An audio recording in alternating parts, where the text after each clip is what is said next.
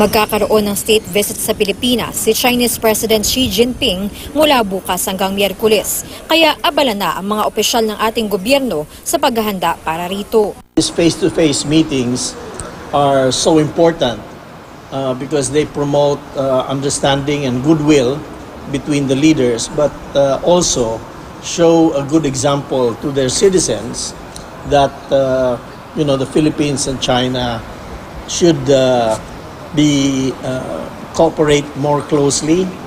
And uh, again, cooperation comes from understanding each other, each other's positions uh, very well. Pinag-aaralan daw ng maigi ng iba't ibang departamento ang mga kasunduan na nakatakdang pirmahan ng Pilipinas at China.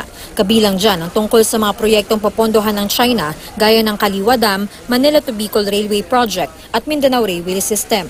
Sa APEC Summit na dinaluhan ni Pangulong Duterte at ng ilang economic managers ng Pilipinas, nagpasaring sa US Vice President Mike Pence sa Belt and Road Initiative ng China kung saan nagpapautang sila para sa mga proyekto ng mga karatig bansa.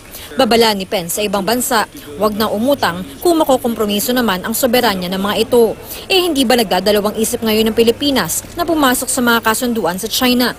With those remarks, we will certainly review it again, this Belt and Road Agreement. But essentially, uh, uh, from our point of view, uh, it will not compromise our sovereignty and uh, and uh, it will be quite helpful to everybody. Hindi naman tayo papasok if it, those are unreasonable terms and terms that are worse than you know other sources.